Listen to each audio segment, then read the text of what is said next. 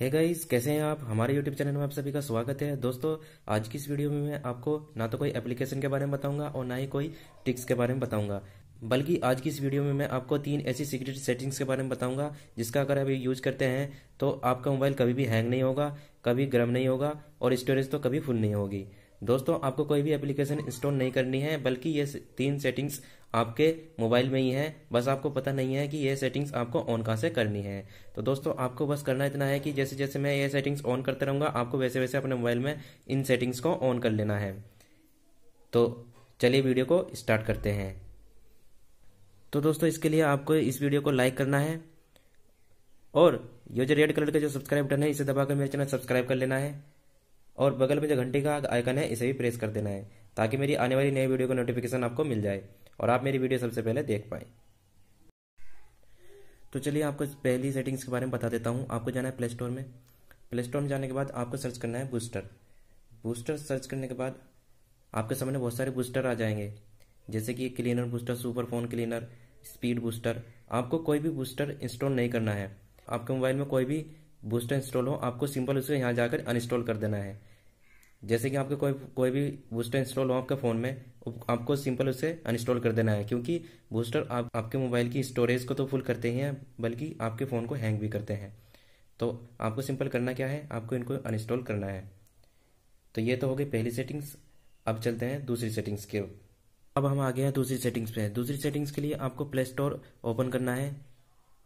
Open करने के बाद आपको थ्री लाइन पे क्लिक करना है। थ्री लाइन पे क्लिक करने के बाद आपको जाना है सेटिंग्स में।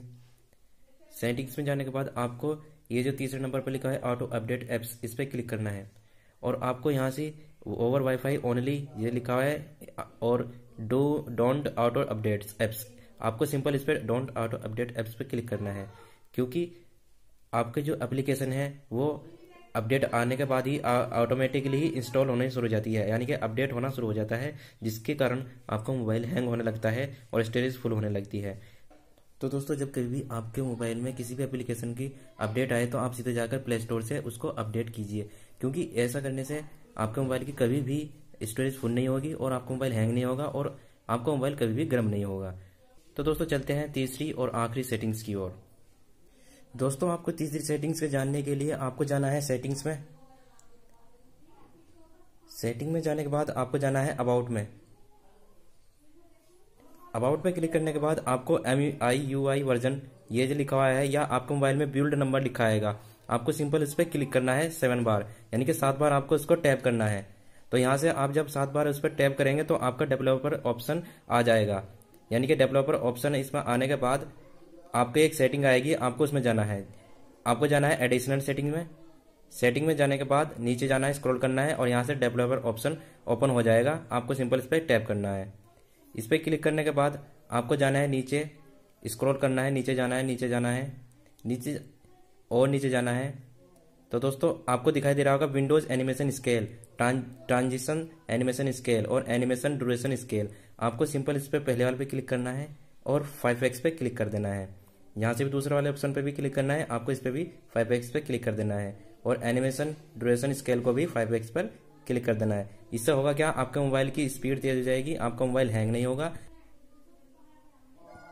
तो दोस्तों, ये थी इस वीडियो की आखिरी सेटिंग जो आपको मैंने बता दी है।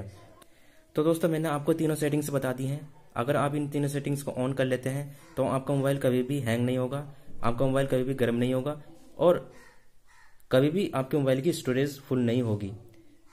तो दोस्तों, आपको ये वीडियो कैसी लगी? प्लीज़ कमेंट करके ज़रूर बताएँ। मिलते हैं दोस्तों नई वीडियो में। तब तक के लिए बाय दोस्तों।